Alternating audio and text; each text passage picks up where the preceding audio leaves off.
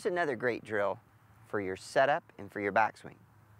For those of you that struggle with the idea of putting 70% of your weight over on your left side, and for those of you that struggle with keeping your weight on your left side, watch this. Take a golf ball, put it back behind you, and with the back part of your right foot and your heel, step on the golf ball so that your, it wedges underneath your heel. Now from here, you'll get the idea to keep your weight on your left side at address and to stand with more weight on your left side. And then part two is, this will give you a great sense when you go back that you can't slide back with the golf club. The golf club goes back independent. You don't move with it.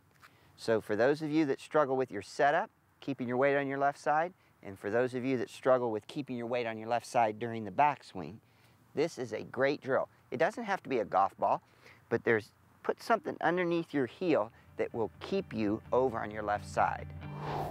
This is a great drill for those of you that struggle with keeping your weight on your left side and maybe the golf ball was a little too uncomfortable and or for those of you that hit a lot of skulls or ground behind the golf ball. Watch this. When you get ready to address the golf ball, take your normal stance, grip, aim, ball position, weight on your left side, but right at the last moment, lift your right foot up and stick your toe in the ground. Now watch. Don't put it way back here and don't put it back where you can get your foot gripped on the ground, but absolutely stick your toe in the ground.